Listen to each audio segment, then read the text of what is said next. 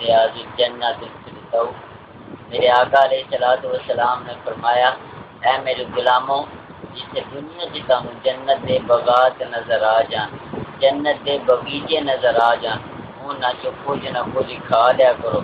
صحابہ کرام عرض کرنے لگے، حضور وہ دے سدرۃ المنتہا ہے۔ قالوا ما لهذه الجنہ؟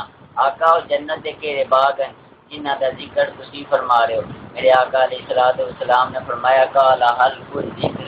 اے میرے غلاموں، جتھے ذکر دی محفل سچی ہوے اوتھے جا کے بیٹھ جایا کرو۔